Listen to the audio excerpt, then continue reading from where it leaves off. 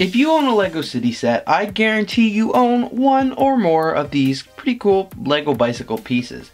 But, as you can see, I've started to gain a pretty good collection of the different colors of LEGO bicycles, so I wanted to investigate further and find out how many colors there were and what kind of sets they've appeared in. So hey everybody, BrickLover18 here today with a all about the bicycle history video. Upon doing some research, I have discovered that the official LEGO bicycle has come in 8 colors. White, black, red, bright light orange, green, yellow, medium azure, and dark pink. I also have this pretty cool chrome gold bicycle, but it's not an official LEGO bicycle because I got it in the January 2017 Brick Loot box. The bike has only occurred in 60 different LEGO sets, 39 of these sets being the LEGO Town and the LEGO City line.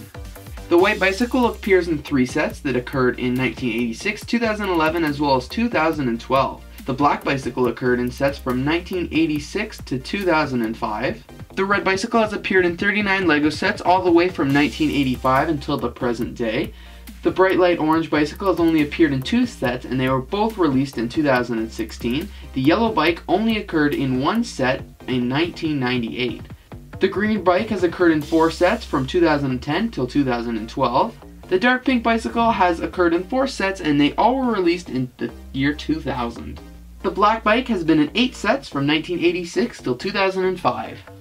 The medium azure bike has also appeared in eight sets from 2012 until 2015. And of course, the Chrome Gold bike hasn't occurred in any of the LEGO sets because it's not an official LEGO piece, but a third-party custom item. If you're unaware of the LEGO bike, it consists of a total of three pieces, the frame as well as two tires, and you have the option to add a stud to the front like I've done with all my bikes. I hope you enjoyed this little video where Ben Franklin and I gave you a little history of the LEGO bicycle. Thanks everybody so much for watching, I really did hope you enjoy, and if you did of course, please don't forget to leave a like on the video as well as a comment, and if you want to check out all my other LEGO videos that I've uploaded, you can check that out in the cards as well as the end credit now. And of course, please don't forget to subscribe if you like what you see and you can't wait to see more. Thanks again so much for watching, I hope you have a great day.